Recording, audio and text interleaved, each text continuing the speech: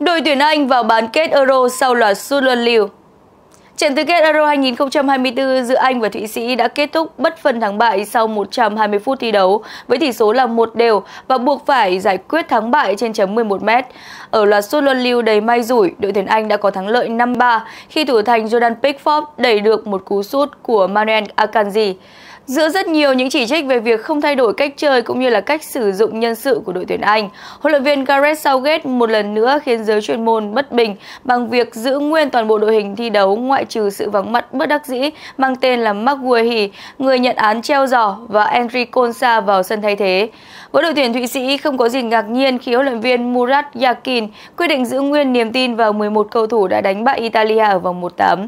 Và tất nhiên thì những Granit Xhaka, Manuel Akanji và Zedan Sakiri đều quen thuộc với nhiều đối thủ của mình nên họ không hề e sợ bằng việc nhập cuộc rất chủ động, sẵn sàng chơi sòng phẳng với đội tuyển Anh. Thế trận trong 45 phút đầu tiên khác hoàn toàn so với hai trận tứ kết sớm giữa Đức và Tây Ban Nha và Pháp với Bồ Đào Nha khi hai đội mang đến một hiệp đấu khá nhàm chán, không có bất cứ cú dứt điểm trúng khung thành nào của nhau. Tình huống nguy hiểm nhất đến ở phút cuối cùng khi mà Kopi Mainu xâm nhập vòng cấm dứt điểm sau đường truyền của Bukayo Saka. Nhưng đội trưởng Granit Saka đã có pha cản phá cứu thua 10-10 cho Thụy Sĩ. Bước sang hiệp 2 thì hai đội không đưa ra bất cứ sự thay đổi nhân sự nào và thế trận thì tất nhiên cũng không có bất cứ đột biến nào.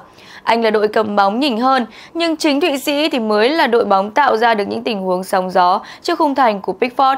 Tiền đạo Brel Embolo đã khiến trung vệ Konsa trải qua những phút thi đấu vô cùng khó khăn khi liên tục vượt qua những pha dứt điểm của cầu thủ này lại không thể vượt qua được chốt trận cuối cùng của Tam Sư. Tuy nhiên thì quá tam ba bận và ở lần thứ ba dứt điểm trong trận đấu này, Embolo đã khiến người hâm mộ Anh chết lặng. Phút thứ 75 sau cú dứt điểm chéo góc của Endoye, bóng khẽ chạm Sunstone đổi hướng khiến Pickford không thể cản phá và Embolo băng vào rất nhanh để đệm bóng vào lưới trống. Sau bàn thua thì huấn luyện viên Southgate có liền 3 sự thay đổi người với sự có mặt của Luxor, Palmer và Eberichi Eze. Những sự thay đổi này chưa phát huy được tác dụng, nhưng Tam Sư đã nhanh chóng có bàn gỡ ở phút thứ 80. Saka sau khi nhận rất nhiều lời chỉ trích từ đầu giải đã thể hiện đẳng cấp với pha đi bóng và dứt điểm sở trường từ ngoài vòng cấm, đưa bóng găm thẳng vào góc xa khung thành của Sommer săn bằng cách biệt. Khoảng thời gian 10 phút cuối trận, hai đội đều có được những cơ hội để kết thúc trận đấu nhưng không thể tận dụng thành công. Tỷ số hòa được giữ nguyên đến hết trận và một lần nữa, trận tứ kết phải bước vào hiệp phụ. 30 phút thi đấu của hiệp vụ, Thụy Sĩ tiếp tục cách chơi chắc chắn của mình và phong tỏa tất cả những ngôi sao tấn công của Tam Sư. Tuyển Anh thi đấu hay hơn trong 15 phút đầu với những cú dứt điểm nguy hiểm của Declan Rice và Bellingham nhưng không thắng được thủ thành Sommer. Trong khi đó thì Thụy Sĩ có 5 phút cuối hiệp phụ thứ hai tăng tốc và khiến khung thành của đội tuyển Anh trao đảo. Serdan Sakiri đá phạt góc dung chuyển sáng ngang trước khi Whitmer đã đại bác khiến Pickford vất vả cản phá. Không thể có thêm bàn thắng sau 30 phút hiệp phụ, hai đội phải định đoạt trận đấu trên chấm 11m. Sự xuất sắc của thủ thành Jordan Pickford khi cản phá cú đá đầu tiên của trung vệ Akanji cũng như là bản lĩnh của cả năm cầu thủ Anh thực hiện thành công các cú sút của mình đã giúp đội tuyển Anh giành chiến thắng chung cuộc 5-3 ở loạt sút luân lưu cần não. Hà Lan loại Thổ Nhĩ Kỳ nhờ hai bàn trong 6 phút. Phản lưới nhà một lần nữa lên tiếng tại Euro 2024 với 10 bàn. Như vậy là kể từ đầu giải, chỉ còn cách kỷ lục ở kỳ trước một bàn. Thổ Nhĩ Kỳ kém duyên khi là đội duy nhất có hai cầu thủ đá phản lưới là trung vệ Samet Akaydin ở trận thua Bồ Đào Nha và hậu vệ Mất Muder ở trận Hà Lan. Chính nỗ lực phá bóng của Munder về lưới nhà, dâng suất và bán kết cho cơn lốc màu da cam. Trước khi phản lưới thì Munder đã hai lần bị cầu thủ Hà Lan dẫm lên chân, lần lượt là Xavi Simon và Cody Gapo. Chính Simon và Gapo đã đóng góp công vào bàn thắng quyết định của Hà Lan ở phút thứ 76. Simon chọc khe một chạm xuống bên phải cấm địa cho Denzel Dumfries tạt sệt về cột hai để Gapo lao vào nỗ lực tiệm bóng. Munder trồi người phá khiến Gapo ngã xuống, còn bóng lăn theo hướng khác khiến thủ môn Matt Gunnock bị đánh bại.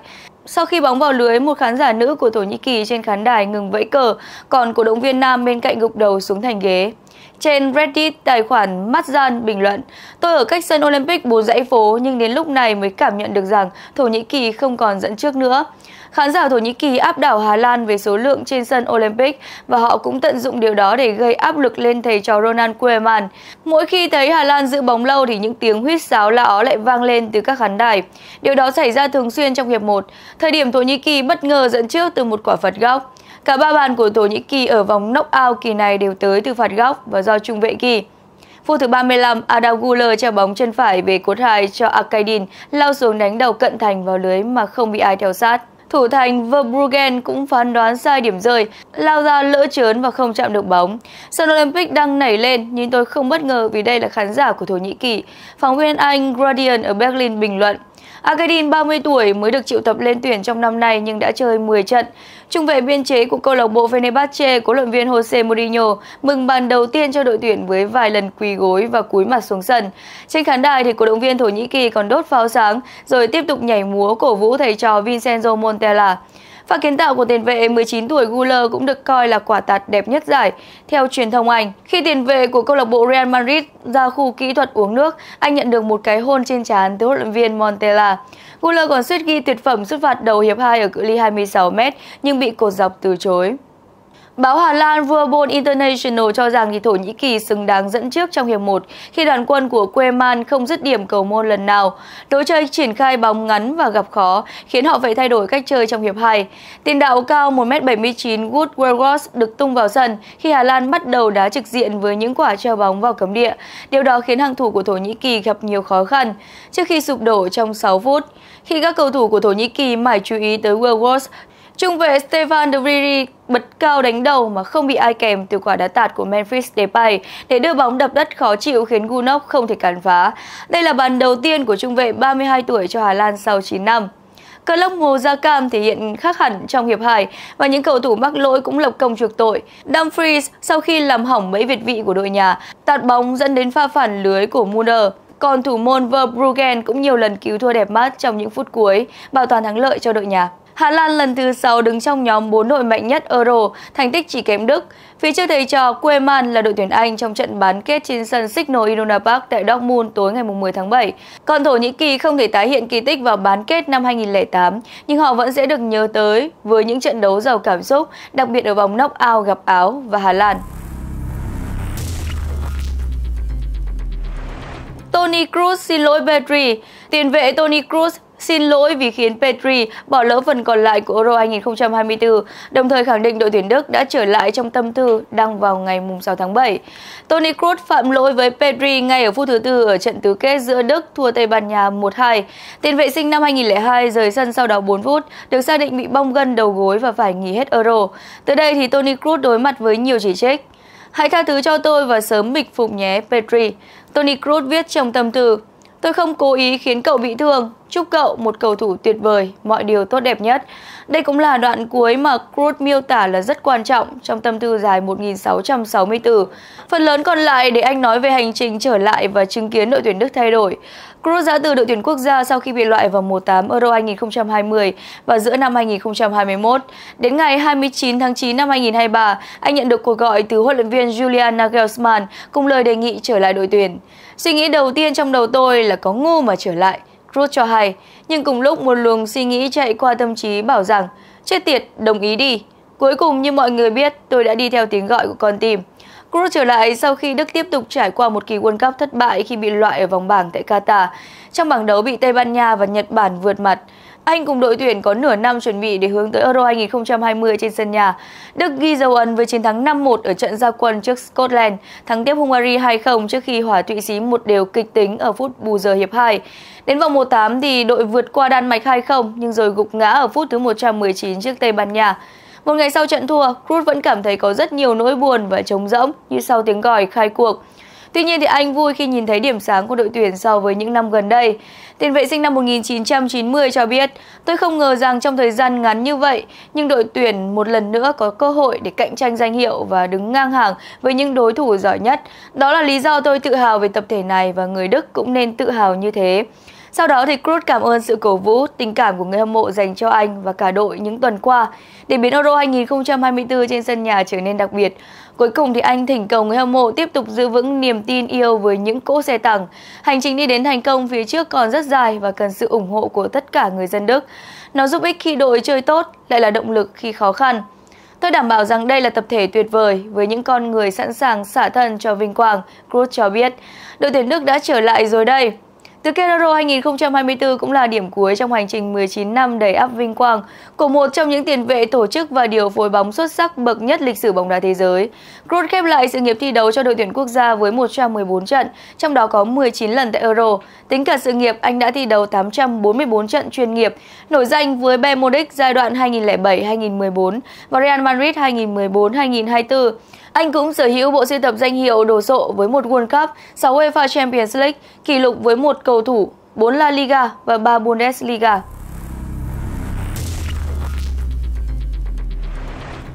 Danh thủ Anh đề xuất bỏ hiệp phụ sau trận Bồ Đào Nha Pháp. Gary Lineker và Rio Ferdinand bày tỏ lo ngại khi chứng kiến cầu thủ Pháp và Bồ Đào Nha mệt mỏi và không thể ghi bàn trong suốt 120 phút ở tứ kết Euro 2024.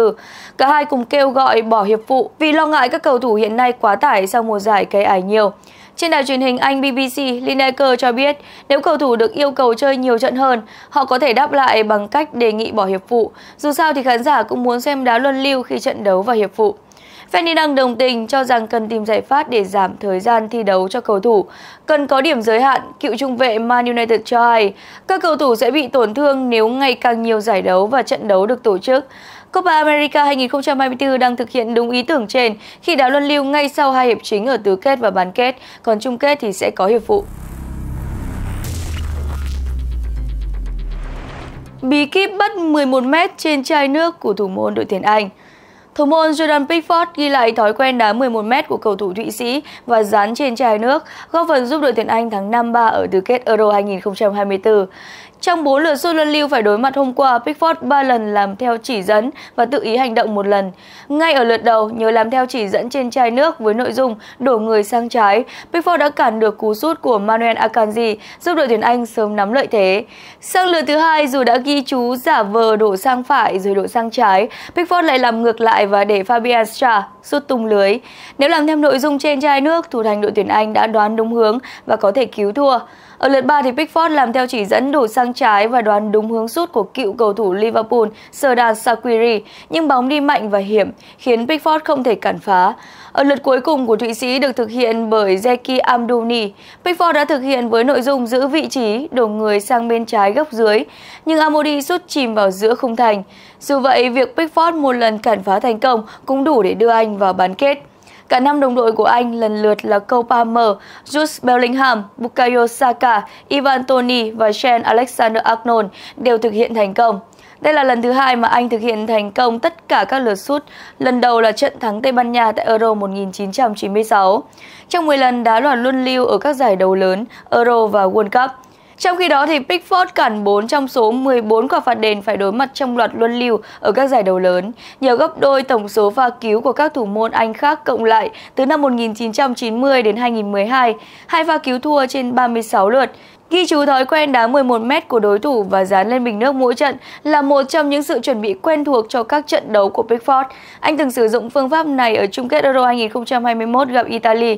Sự chuẩn bị kỹ càng này giúp Pickford cản phá thành công hai cú đá của Andrea Belotti và Jorginho, nhưng anh thua chung cuộc 2-3 khi Marco Rashford, Jadon Sancho và Bukayo Saka lần lượt đá hỏng ba quả quyết định. Chiến thắng trước Thụy Sĩ hôm qua đưa Anh vào bán kết gặp Hà Lan, đội ngược dòng hạ Thổ Nhĩ Kỳ 2-1 ở trận tứ kết cuối cùng. Xác định bốn đội vào bán kết Euro 2024, Pháp, anh, Hà Lan và Tây Ban Nha lần lượt qua tứ kết Euro 2024 để tạo ra vòng bán kết đáng chờ đợi nhất lịch sử giải đấu. Lần đầu tiên trong lịch sử, bán kết Euro diễn ra giữa các đội trong top 10 FIFA. Hơn nữa thì hai trận bán kết diễn ra giữa các đội theo đuổi trường phái bóng đá khác hẳn nhau, khiến vòng đấu thêm phần thú vị. Tây Ban Nha gặp Pháp trong trận đấu bán kết đầu tiên trên sân Ariang lúc 2 giờ sáng ngày 10 tháng 7 theo giờ Hà Nội. Tây Ban Nha dù không còn dấu ấn tiki-taka đậm nét như thời 2008-2012, vẫn chơi kiểm soát bóng dựa vào các cầu thủ kỹ thuật, chuyển trạng thái nhanh và quan trọng là sẵn sàng mạo hiểm tấn công qua 11 bàn đã ghi được. Pháp lại thể hiện lối đá thực dụng ở 5 trận đấu đã qua, mới ghi 3 bàn, trong đó có 2 pha phản lưới, một phạt đền. Huấn luyện viên Didier Deschamps thường sử dụng hàng tiền vệ thiên về phòng ngự. Trong đó thì có những cầu thủ đánh chặn hàng đầu như là Aurelien Tchouameni hay là N'Golo Kante, giúp đội mới thủng lưới một bàn. Đây là lần thứ 5 mà hai đội đụng độ ở vòng knock-out ở một giải đấu lớn. Pháp thắng 3 trận đầu tiên lần lượt là chung kết Euro 1984, tứ kết năm 2000 và vòng 1/8 World Cup 2006. Nhưng Tây Ban Nha thắng trận gần nhất tại tứ kết Euro 2012. Trận đấu ở Munich tới đây sẽ diễn ra giữa hàng công mạnh nhất với hàng thủ chắc chắn nhất. Theo siêu máy tính Opta, khả năng Tây Ban Nha vào chung kết cao hơn một chút, với xác suất là 54% so với Pháp là 46%. Nhưng nếu xét vị trí FIFA, Pháp đang là đội mạnh nhất châu Âu ở số 2 thế giới, còn Tây Ban Nha thì đang đứng thứ 8, thấp nhất trong 4 đội vào bán kết. Trận bán kết còn lại diễn ra sau đó một ngày giữa Hà Lan và Anh trên sân Signal Iduna Park ở Dortmund. Hà Lan chơi bóng thiên về tấn công giống Tây Ban Nha khi đã có 9 bàn kỳ này. Trong khi đó, thì Anh sở hữu nhiều ngôi sao tấn công như là Harry Kane, Jude Bellingham, Phil Foden hay là Bukayo Saka, nhưng mới ghi 5 bàn do có lối chơi thực dụng giống với đội tuyển Pháp. Đây sẽ là lần thứ tư hai đội gặp nhau ở một giải đấu lớn và lần đầu tiên kể từ Euro 1996. Tuy nhiên thì ba cuộc đối đầu trước đây đều diễn ra ở vòng bảng khi mỗi đội thắng 1, hòa 1 và thua một trận. Cuộc so tài ở Dortmund sẽ là lần đầu hai đội gặp nhau ở vòng knock-out World Cup hoặc là Euro. Theo Opta thì Anh có 60% khả năng vào chung kết, so với Hà Lan là 40%. Bốn đội bán kết đã lần lượt sở hữu 3, 2, 1 và không danh hiệu tại Euro. Trong đó thì Tây Ban Nha có thể trở thành đội đầu tiên 4 lần đăng quang. Anh cũng hướng tới danh hiệu đầu tiên, còn Hà Lan và Pháp đã không vô địch trong hàng chục năm qua. Trận chung kết sẽ diễn ra lúc 2 giờ sáng ngày 15 tháng 7 trên sân Olympic ở Berlin. Euro thì không có trận tranh giải ba, vì thế đội thua bán kết sẽ bị loại. Hoàng Anh Gia Lai ký một loạt hợp đồng mới. Bảo Đức chính thức chốt tương lai của Văn Toàn. Chuyển đường V-League, Bảo Đức quyết tâm đặt mục tiêu vô địch V-League 2024-2025 của Hoàng Anh Gia Lai. Nhằm thực hiện hóa điều đó, rất nhiều ngôi sao trưởng thành từ lò đào tạo của Hoàng Anh Gia Lai đang được đội bóng phố núi triệu hồi. Hướng tới mùa giải 2024-2025, Bảo Đức chắc chắn vẫn rất muốn nhìn đội nhà giành chức vô địch V-League. Hoàng Anh Gia Lai đã có những động thái đầu tiên để xây dựng lực lượng cho mùa giải. Trước đó thì Hoàng Anh Gia Lai cũng tiến hành gia hạn hợp đồng với trung vệ Zairo và tiền vệ Châu Ngọc Quang. Được biết thì tiền vệ Tuấn Anh sẽ trở lại Hoàng Anh Gia Lai sau khi hợp đồng cho mượn kết thúc. Trong khi đó thì đội chủ sân Pleiku cũng muốn mượn tiền đạo Nguyễn Văn Toàn của Nam Định nhằm phục vụ cho mục tiêu cạnh tranh trước vô địch mùa giải tới. Văn Toàn trưởng thành từ lò đào tạo của Hoàng Anh Gia Lai và khi được bầu Đức triệu hồi, chân sút quê Hải Dương khó lòng từ chối. Nói vậy là bởi thì Hoàng Anh Gia Lai là nơi cầu thủ sinh năm 1996 thành danh và giúp anh gặt hái được nhiều thành công như hiện tại. Tuy nhiên, điều này lại khiến Văn Toàn khó xử khi anh cũng muốn ở lại nhằm chinh phục các thử thách mới cùng thép xanh Nam Định tại sân chơi AFC Cup mùa tới. Ở buổi trả lời phỏng vấn với giới truyền thông mới đây, khi được hỏi về việc tái hợp với Hoàng Anh Gia Lai, Văn Toàn cho biết Câu hỏi này thì em nhận được rất nhiều rồi, nhưng mọi người cần phải chấp nhận một điều là em đang thuộc biên chế của câu lạc bộ Nam Định và em còn hợp đồng ở đây. Tương lai em cũng chưa biết như thế nào và có thể mai sau Hoàng Anh Gia Lai đưa ra một lời đề nghị hợp lý và em sẽ về, nhưng điều đó cũng khó nói. Xong, Manchester United bán đứt Van der Beek lô tới 35 triệu euro. Ký giả Fabrizio Romano đã cập nhật về trường hợp của tiền vệ Donny van der Beek trong mùa hè năm nay. Manchester United buộc phải tìm cách bán Donny van der Beek khi Eintracht Frankfurt quyết định không kích hoạt điều khoản mua đất trong hợp đồng cho mượn cầu thủ này ở mùa giải vừa qua. Van der Beek gia nhập câu lạc bộ Bundesliga theo dạng cho mượn vào tháng 1 với việc Frankfurt có quyền lựa chọn thực hiện thỏa thuận mua đất với chỉ 12 triệu euro. Tuy nhiên thì Eintracht Frankfurt thất vọng với cựu sao của Ajax. Tiền vệ người Hà Lan chỉ ra sân 6 lần ở giải đấu hàng đầu nước Đức và không ghi được bàn thắng hay cũng không cung cấp pha kiến tạo nào. Mới nhất thì ký giả Romano xác nhận thỏa thuận giữa Girona và Man United về Donny van der Beek dựa trên các điều khoản bổ sung. Thương vụ có thể lên tới 4 đến 5 triệu euro dựa trên số lần ra sân trong mùa giải 2024-2025, cũng cao hơn nếu van der Beek gặt hái nhiều thành tích hơn. Thỏa thuận lâu dài giữa Man United và Girona đã được thông qua, nhưng còn phải tuân theo các điều khoản cá nhân vốn sẽ được thảo luận vào tuần tới. Hợp đồng hiện tại của Van der Beek với Man United chỉ còn một năm. Quỷ đỏ phải bán tiền vệ này để tránh mất trắng vào mùa hè tới. Van der Beek từng tiêu tốn của Man United 40 triệu euro, giờ thì họ chấp nhận bán lỗ khoảng 35 triệu euro khi để anh ra đi. Chính thức, Inter Milan chiêu mộ thành công Zielinski theo dạng chuyển nhượng tự do. Inter Milan đã chính thức chiêu mộ thành công tuyển thủ Ba Lan Zielinski theo dạng chuyển nhượng tự do. Zielinski đã đồng ý các điều khoản từ nhiều tháng trước và thậm chí đã kiểm tra sức khỏe ngay từ tháng 2 để đến Inter Milan theo dạng chuyển nhượng tự do sau quyết định không gia hạn hợp đồng với Napoli. Cuối cùng thì Zielinski cũng đã được Nezaruri công bố là tân binh của họ vào ngày hôm nay và đặt bút ký vào một thỏa thuận có thời hạn đến tháng 6 năm 2028. Tôi rất hạnh phúc vì được gia nhập một trong những câu lạc bộ tốt nhất thế giới. Đó là một vinh dự đối với tôi. Tôi rất nóng lòng được bắt đầu. Tuyển thủ Ba Lan nói với trang web chính thức của Inter. Hàng tiền vệ của Inter thực sự là sức mạnh của đội bóng này, vì vậy tôi sẽ cố gắng đóng góp để giúp đội mạnh hơn nữa.